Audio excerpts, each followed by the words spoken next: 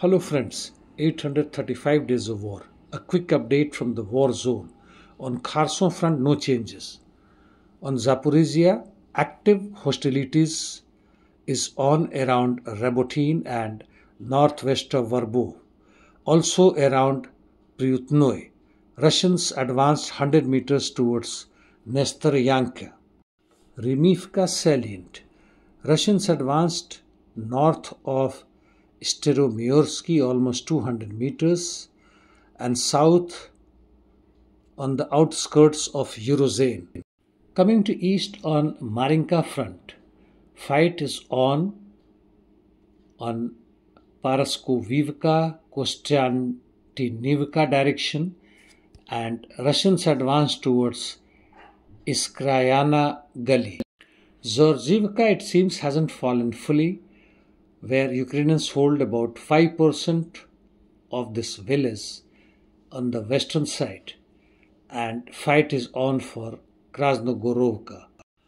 Avdiivka front, fight is on along Netailofo Umansky highway and on the outskirts of Yasnobrodovka and also in Karlivka. Here Russians advanced 200 meters. Russians have made various gains in north, northwest and western Avdiivka. Just to give you a short brief on that, they have moved 100 meters towards Sokol, which is still under Ukrainians. 100 meters on the outskirts of Novoalexandrovka, and the fight has started inside the village. Another 100 meters towards Kalino from the western side. Bakhmut, Russians' offensive operation continues towards the eastern outskirts of Chasiv Yar, otherwise no changes, and similar situation in north of Soledar, Siversk sector. In northeast Ukraine, by and large, no changes. Positional battle continues. Minor gains for the Russians north of Ivanivka. While in north Ukraine, that is Slobozhansky direction, fight is quite severe inside the Volchansk city as well as north of Liptsy and by no geographical changes.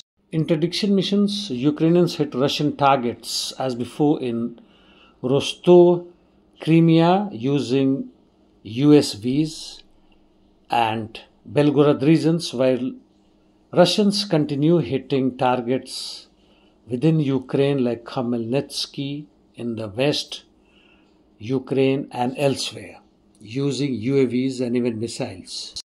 The basic hot zones that is continuing in Ukraine are basically in east and more so in Avdiivka towards firstly Netailov Karliv reservoir direction, secondly around Ocheretin, which is under now Russians, Arkhangelsky, Novoalexandrivka, Kalinov, and in Marinka direction towards Pervomaisky, Kostial, Kostiantynivka.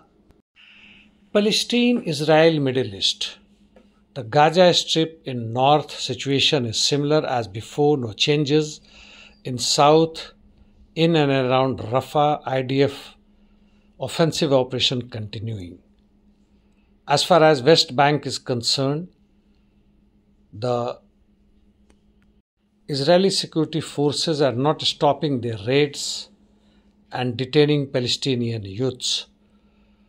The Cross-firing between Hezbollah and IDF seems to have increased recently, and it is to be seen whether the war is escalating here or not. But in present scenario, in near future, it is unlikely. Houthis are continuing their shelling of ships belonging to US, UK, and Israel though the damages are minimum at this given moment.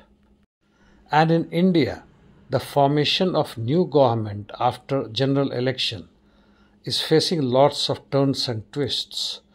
Well, that's all from my side today. Thank you.